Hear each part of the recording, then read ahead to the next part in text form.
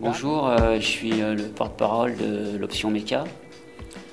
Donc euh, l'option MECA, c'est quoi? C'est un tronc commun de 50, heures- de 50 heures qui vient euh, compléter les formations de première année et deuxième année en mécanique.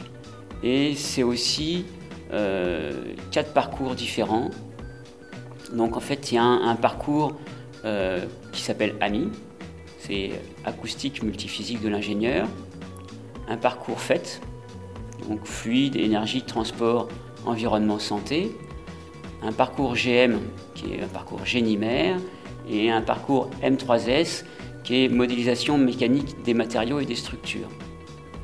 Alors, pour vous expliquer un peu euh, les différences qu'il y a euh, entre ces parcours, je vais prendre un exemple.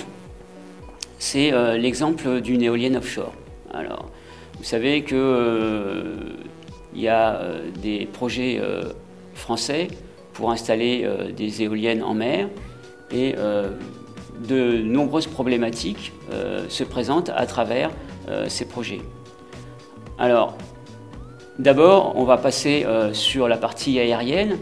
Donc, une éolienne, elle est constituée de pales. En fait, ces pales, elles subissent un écoulement lié au vent. Et ça, c'est déjà quelque chose, c'est déjà un système complexe.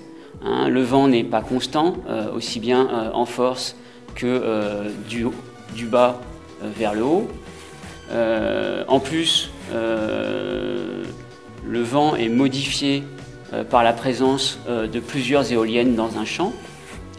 Euh, déjà, ça, ça crée euh, euh, des problèmes ben, de mécanique des fluides, des problèmes d'acoustique. hein, les, les pales vibrent, font vibrer le mât de l'éolienne et entraînent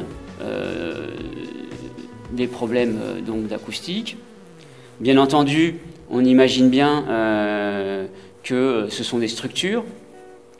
Hein, donc, bien entendu, il va falloir optimiser euh, de manière mécanique ces structures. Et euh, enfin, ces éoliennes, pour euh, un problème offshore, vont être montées donc sur des plateformes pour quand elles sont installées en mer profonde ou ce qu'on appelle sur des pieux quand elles sont installées en proche côtier. Et, euh, et donc là, euh, bien entendu, on a tous les problèmes liés euh, à la mer, donc l'interaction entre, donc pour le pieu entre la mer et, ce, pilier, donc l'impact des vagues sur le pilier, et pour les systèmes flottants, l'interaction entre les vagues et un système qui est mobile, hein, qu'il va falloir ancrer, et ça va créer donc encore un système complexe à résoudre. Voilà un peu euh, les euh, quatre parties, euh, les quatre parcours qui pourront être intéressés par ce problème. En termes de débouchés, en fait, les ingénieurs qui vont être formés dans ces quatre parcours vont travailler dans le domaine ben, principalement du transport, de l'énergie, euh, de l'environnement, euh, bien entendu euh, de l'industrie mécanique et euh, des infrastructures et du bâtiment. Donc c'est un assez large panel hein, et euh, on peut dire qu'actuellement euh, euh, les emplois sont relativement faciles à trouver.